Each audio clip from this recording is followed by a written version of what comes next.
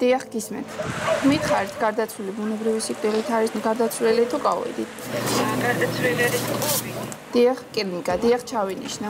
გადავასვენოთ ბანკში, ეკლესიაში და შემდეგ სასახლეში. მოქალაქე დამკრძალავ ბიუროში რეკავს და კორონავირუსით გარდაცვლილი ოჯახის წევრის დაკრძალვის პროცედურებს ათანხმებს. COVID-19-ით გარდაცვლილთა სტატისტიკის ზრდასთან ერთად იზრდება ზარები დამკრძალავ ბიუროებში. გარდაცვლილი არის COVID-ით. უნდათ სრული სარიტუალო მომსახურება, გადასვენება უნდათ ვაკის ეკლესიაში და შემდეგ უკვე სასაფლაოზე. მიცვალებულს სახლში ხშირად ვეღარ მიასვენებენ. ვირუსმა დაკრძალვის წესები შეცვალა. გარდაცვლილი პოლიეთილენის შავი პარკით სასახლეში უნდა ჩაასვენონ და ეკლესიიდან პირდაპირ სასაფლაოზე გადაასვენონ. უნდა პირდაპირ სავანტყოფოებიდან სასაფლაოებზე გადასვენება და იმ დღისითვე დაკრძალვა. რომელ სავანტყოფოში? ხშირად ჭირის უფალიც COVID ინფიცირებულია და ოჯახის წევრის დაკრძალვას ვერ ესწრება. ასეთი მძიმე ისტორიებით კომპანია ჰერმესში ყოველდღიურად ათობით ადამიანი რეკავს. ყოველი 10 გარდაცვლიდან 7 ყოველთვის კოვიდიანია. ბოლო 10 დღეში COVID-19-მა 700-ზე მეტი ადამიანის სიცოცხლე შეიძირა. გარდაცვალების სტატისტიკა საგანგაშოა. გაზრდილი სიკვდილიანობის გამო სრული დატვირთვით უწევთ მუშაობა სპეციალურ მანქანებს, რომლებსაც მიცვალებულები საავადმყოფოდან სახლში ან სასაფლაოზე გადაყავთ. დღეს ღამე როცა გვიძევს გადასაყვანია რაიონებში გადაყვავა. ქალაქშია მომსახურება მოსახურებით. COVID მიცოლებულზე რა თქმა უნდა ლაპარაკი. 30 წელზე მეტია მუშაობთ. 33. ამ 33 წლის განმავლობაში ასეთი მძიმე პერიოდი გქონდა? არასდროს არ ყოფილა ასეთი მძიმე პერიოდი. ერთ მესაფლავის დღეში რამდენიმე საფლავის გაჭრა უწევს. ეს მას შემდეგ, რაც COVID გარდაცვლილთა რიცხვი იზრდება. ხშირად ერთმანეთს ენაცვლებიან. აქ სამუშაო საათებს აღარავინ ითვლის და აღარც ძლიერ ფიზიკურ დატვირთვაზე საუბრობენ. ჯერ ხო აი დიდი გულის ტკივილი ის არის, რომ საყვარელ ადამიანს კარგავს და ოჯახის წევრს კარგავს და მე რო გამოსამშვიდობებლად ახლო არ მიდის და ნუ ისეთ სიტყვებს დასტირიან ხოლმე ოჯახის წევრები, რომ გამორიცხულია, რომ აი ცრემლი არ მოგადგეს და მაგათთან ერთად არ იტირო. ბევრჯერ არის ხოლმე რა შეთქვა, აი ძალიან ბევრი რომ 11 საათამდე შემოვშენია. რა საყოფოში რო ყავთ და სახში რო ვერ ასვენებენ, პირდაპირ სასაფლაოზე რო უნდათ მოსვენება, ბევრჯერ დროში ვერ ეტევიან რა.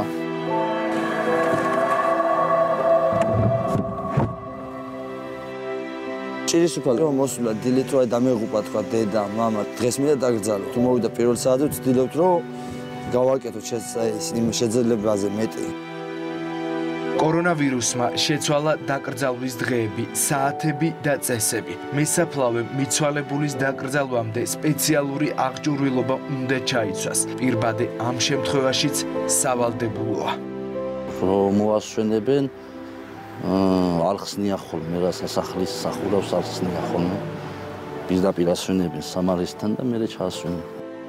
უნდათ მისვლა, ჩაეხუტონ, გამოემშვიდობონ და ამ დროს ჭირის უფლები საშუალებას არ აძლევენ, რომ ახლოს მივიდნენ, მაინც ურჩევენ, რომ თავი შეიკავო. დამკრძალავი ბიუროს არქივში 2020-21 წელი ყველაზე მძიმე წლება ჩაიწერება. ამ ეტაპზე სარიტუალო მომსახურების პრობლემა ქვეყანაში არ დგას, თუმცა თუ გარდაცვლილთა სტატისტიკა ორ ნიშნა რიცხვს გასცდა, პრობლემა ნამდვილად იქნება. კოვიდი არის ყველაზე დიდი გამოწვევა, ყველაზე დიდი ბრძოლა ამას ჭირდება დღესდღეობით და ეს სტატისტიკა, რომელიც დღეს 86-ია, გუშინ 84 იყო და ასე შემდეგ, გვინდა რომ მაქსიმალურად შევამციოთ. ამისთვის ხელშემწყობი გზები არის ვაქცინაცია, იმიტომ რომ არსებობს სტატისტიკები და არსებობს ფაქტები, ვაქცინირებული ადამიანების დაახლოებით 3%-იც არ ხვდება კლინიკებში ვაქცინაცია რომ ვირუსის დამარცხების და კოვიდის მსუბუქად გადატანის ერთადერთი გზა ახლა ყველაზე კარგად იცის თელავის თეატრის მსახიობმა ზურაბ ლომბიძემ. აღიცი არ მინდა გახსენება იმის გახსენება არ მინდა ერთი ფიქრი ვიფიქრე წავალ მეთქი გავიპარები აქედან. ჩემ თვალწინ ახლა იქ 4 კაცი წავიდა. ასე რომ უყურებდი. რომ ასე გემო ავქნათ დაახვევა წაიკა. შემხედავს მეორეს იქ გავიხედა ის ის. აი ესე. არის წივილი, წივილი მიშველე, ვაი. მსახიობს კორონავირუსმა მეუღლე წაართვა. ცოლქმარი რეანიმაციაში 5 თვის წინ მოხვდა. სურას მეუღლე კოვიდთან ბრძოლაში დამარცხდა. თავად კი ამ დრომდე პოსტკოვიდურ სინდრომს ებრძვის. სიარული არ შეუძლია და ორგანიზმს ჟანგბადის დამატებით მიწოდებაც ისევ სჭირდება. მე რა დამმართა კოვიდმა, მე დამაქცია და დამამხოდა. მეუღლე დავკარგი, ამაზე მეტი რა უნდა იყოს. ხო დაუბარა თუ მე ზურას მიხედეთ და რაღაცა ის დასტა და შემკვისს. და აა ცება პოსტკოვიდური სინდრომის მკურნალობა დიდ თანხებთან არის დაკავშირებული და იმისთვის რომ არტისტი სცენას დაუბრუნდეს, სადაც 40 წელი გაატარა, ახლა საზოგადოების დახმარება სჭირდება. ზუსტად იცის რომ როგორც კი ორგანიზმი საშუალებას მისცემს, ვაქცინას გაიკეთებს. პირბადის გარეშე და ის ეჭვები რომ ვაიმე ჯერ აკიდე არაკაცა გაიცვან ის რაღაცები და აიცხა საქართველოს პანდემიის მეხუთე ტალღის პიკშია. ვირუსი ყოველდღიურად ათასობით ადამიანს უდასტურდება. რეანიმაციული განყოფილებები ისევ პაციენტებით ივსება. ძიმე პაციენტებით, რომლებიც სიცოცხლისთვის იბრძვიან. მეორე წელია ექიმები ბრძოლის წინა ხაზზე დგანან. სამწუხაროა, თუმცა ფაქტია, რომ ქვეყანაში შექმნილი მძიმე ეპიდვითარება საზოგადოება მიივიწყა. ხშირად პირბადის გამოყენებაზეც უარს ვამბობთ. აღარც სოციალურ დისტანციას ვიც ვიცავთ და არც ვაქცინაციის რიგში გვინდა დგომა. ეს ყველაფერი კი ყოველდღიურად აისახება ციფრებში და ძიმე სტატისტიკაში. ბებუდარები მოსახლეობას თხოვთ დროზე მოვეგოთ გონს და რადიკალურად უნდა შევცვალოთ ჩვენი დამოკიდებულება აი ამ COVID პანდემიის მიმართ. იმისთვის რომ ჩვენ მივიღოთ შედეგი და შევამციროთ პანდემიის ესეთი აგრესიული განვითარება გვჭირდება 30 40 50000 ვაქცინაცია დღეში. თითქმის 2 თვეა ან თითქმის ყოველ დღე იმართება ხალხმრავალი აქციები. ეს პერმანენტული აქციები იმართება და ვერანაირი შედეგი ვერ დაიდო. არც ჩანს, რომ ახლო მომავალში აქციები შეიძლება რამეს მივახციოთ. ერთადერთი შედეგი, რაც დაიდო ამ ხალხმრავალი აქციებით, ეს არის შემთხვევების კატასტროფული ზრდა, COVID შემთხვევების და გარდაცვლილთა ზრდა. ეს ეხება ორივე მხარეს, როგორც პოზიციას, ისე ოპოზიციას.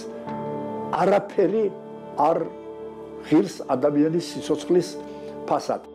წამახალისებელი ლატარიის ერთჯერადი ფულადი დახმარების მიუხედავად ქვეყანაში მცირეა ვაქცინაციის მსურველთა რიცხვი. არადა ვირუსის დამარცხების ერთადერთი გზა სწორედ ვაქცინაზე გადის.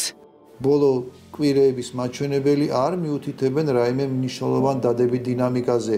გაორმაგდა ბავშვების რაოდენობა, რომელსაც კორონავირუსი დაუდასტურდა. კატასტროფულად მაღალი ციფრია ასევე ინფიცირების მაჩვენებელიც. ორივე მარკერი, რაც შეიძლება ინფექციური პროცესის მიმდინარეობის სიმძიმეს ასახავდეს, პლუს დადებითობის მაჩვენებელი, პლუს აქტიური შემთხვევების რაოდენობა.